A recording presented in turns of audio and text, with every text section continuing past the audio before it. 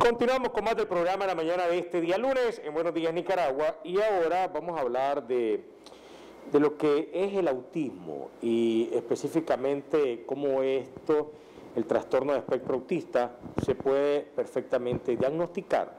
A la vez, cuáles son eh, este tipo de asistencia que usted puede perfectamente realizar, o mejor dicho, tener herramientas para poder darle una mejor calidad de vida a su hijo, niña o niño, si es diagnosticado con el trastorno del espectro autismo. Para ello, hoy vamos a platicar con la psicóloga Maciel Delgado. Ella es psicóloga en atención y diagnóstico de autismo y otros trastornos para comentarnos un poquito acerca de esto. Buenos días, un gusto que esté por acá, bienvenida. Hola, hola, buenos días. El gusto es para mí. La verdad que esta oportunidad es increíble para poder llegar a más familias con la información pertinente, ¿verdad? Sobre lo que tiene que ver con todo lo que es el autismo y los trastornos del neurodesarrollo. Existen bastantes, no mitos, pero bastantes temores al hablar de este tema. Muchas personas tienen miedo que al nacer su hijo o hija sea diagnosticado con un trastorno de espectro autismo. Pero también da más miedo y temor a los padres de familia cuando no ellos no se no notaron eh,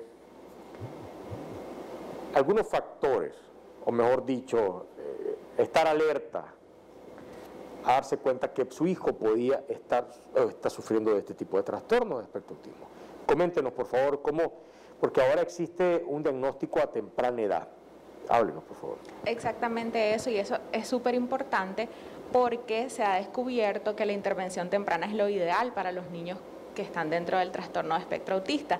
Pero algo importante antes de hablar de esto, y me gustaría mencionarlo, es que la palabra trastorno como tal es la forma técnica que nosotros nos referimos a esto. Sin embargo, también ahora utilizamos lo que se llama condición como tal. ¿Por qué? Porque esta parte te da ese sentido humano que podemos tener los profesionales y las personas que estamos alrededor de cómo identificar eso que el niño y que cuando llegue a ser un adulto también va a estar con él porque es algo que persiste, ¿verdad? Eso es importante y desde ahí parte la, la palabra condición que es algo que va a estar a lo largo de la vida de este ser humano. Entonces es importante verlo desde ahí. Si al lenguaje técnico lo utilizamos, trastorno del espectro autista, incluso para los documentos diagnósticos va la palabra como tal, sin embargo cuando nos referimos en el día a día hablamos más de una condición. Incluso hablamos de niños que se apasionan por las rutinas, le damos ese sentido humano y amoroso hacia algo para tratar de no etiquetarlo con una eh, connotación como negativa, sino tratando de darle ese sentido positivo también. Es importante lo que mencionabas, cambiando un poco a la parte de intervención temprana, porque definitivamente se ha descubierto que si tenés esa intervención en esas edades pequeñas, los avances o los resultados van a ser mucho más productivos, ¿verdad? Porque el niño, y el de hecho tiene que ver con la maduración cerebral.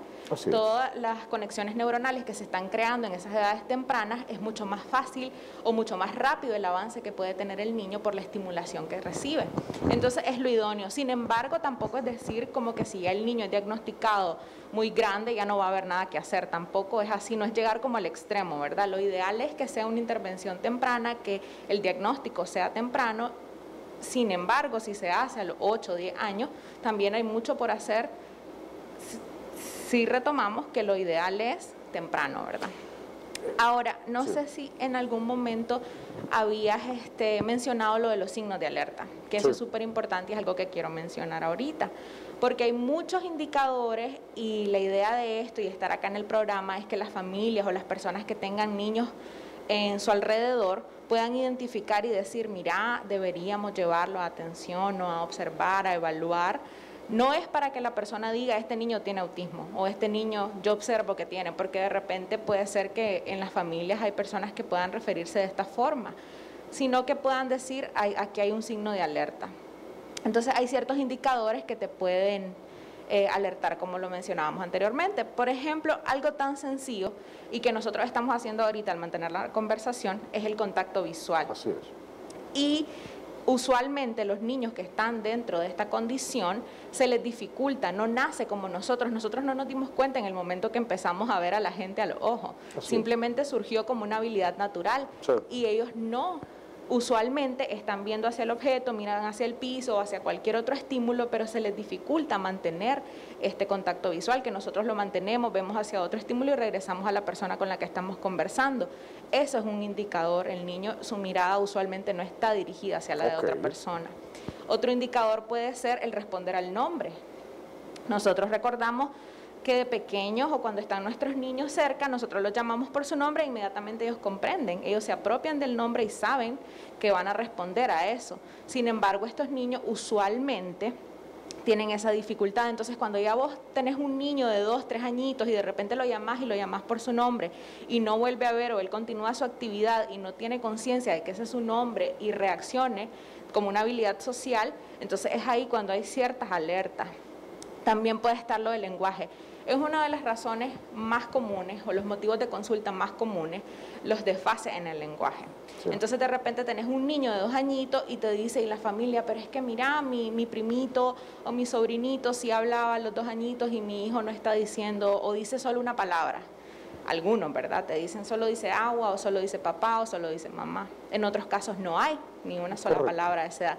Entonces es lo que más alerta, usualmente el lenguaje algo importante que quiero mencionar aquí, que un niño tenga dos años y todavía no emita una palabra, eso no es un indicador total de que eso ya dice que tiene autismo como tal, sino que es un signo de alerta para un proceso evaluativo, porque usualmente son como indicadores, ¿verdad?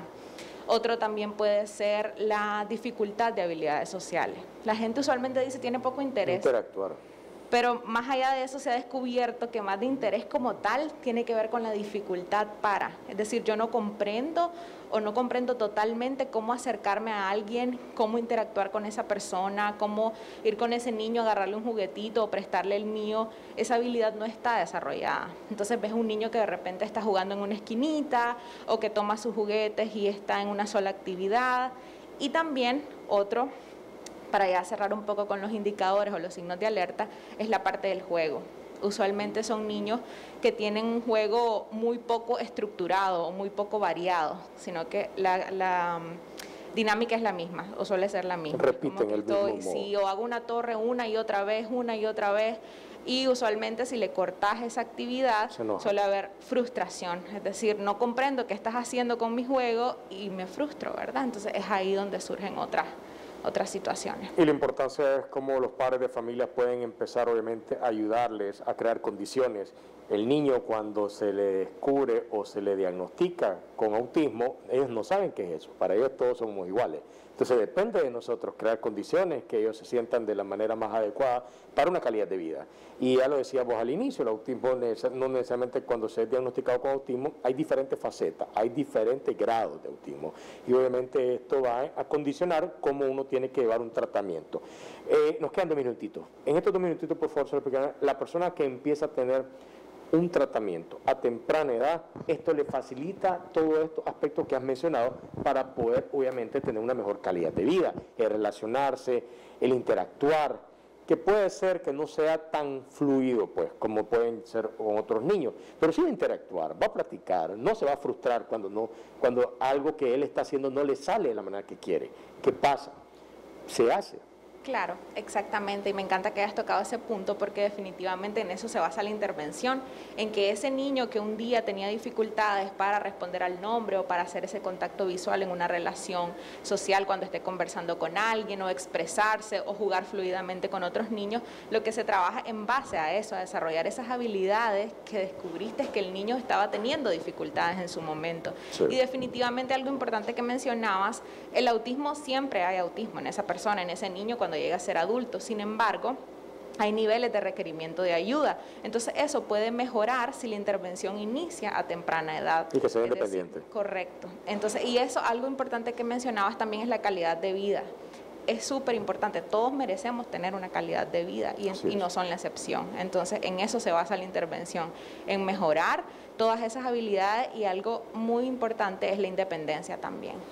Son niños y niñas, ellos también tienen derecho, igual que todos nosotros, para que se les cumpla la recreación, la educación, la, salud, el bienestar, la alimentación, la formación. Y qué mejor que usted pueda tener la asistencia de especialistas en la materia. Maciel, ¿cómo te pueden contactar? ¿Redes sociales o números telefónicos, clínica, dónde te pueden contactar? Sí, actualmente atiendo en la clínica o el centro Equilibrio, que está en las colinas Y ahí por ahí había, iban a poner mi número de teléfono exactamente y en las redes sociales también como psicóloga Maciel Delgado. Igual ahí yo puedo eh, compartir información adicionalmente para que las personas estén al tanto de esos signos de alerta o situaciones en las que deben buscar un profesional capacitado. Maciel, muchísimas gracias. Me encanta lo que mencionaste, buscar un profesional capacitado como nuestra invitada para poder tratar de estos temas, como muchas veces las personas no buscan a las personas indicadas para eh, hablar y llevar a cabo diferentes tratamientos y que le puedan acompañar en este proceso. Qué mejor con especialistas como nuestra invitada, la psicóloga Maciel Delgado, que es en atención y diagnóstico de autismo y otros trastornos. Ahí aparecía su número en pantalla y escucharon psicóloga Maciel Delgado en las redes sociales. Nos vamos a una pausa y venimos con más invitados.